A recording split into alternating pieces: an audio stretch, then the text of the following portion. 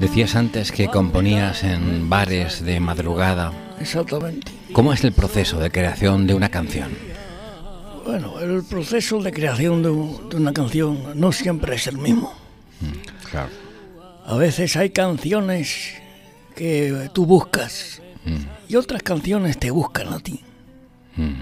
Hay temas que tú buscas y temas por el que tú eres buscado. Hay veces en las que un sufrimiento, una mirada, alguien que ves por la calle con una expresión triste, te inspira una historia, ¿no? Claro. O a veces en la misma casa, mirando una pared, mirando un cuadro. El proceso de creación no es fácil de, de describir, ¿no? Pero siempre todas las canciones nacen de, de una verdad, Claro. De una verdad que está ahí, que siempre ha estado. Y que nada más tienes que estirar el brazo para encontrarla. ¿Te consideras el mejor cantante español de la actualidad?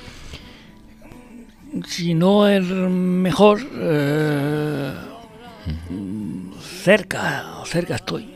Si no, si no el mejor, eh, por ahí anda la cosa. Por ahí anda la cosa. Porque a veces uno tiene miedo a, a hablar bien de sí mismo, pero bueno, con todo lo que estamos escuchando, yo creo que Ya queda claro. se puede ser objetivo y, y decir que yo en fin, Yo creo que no hay duda después de lo que hemos... estoy en el podium del- de lo más grande.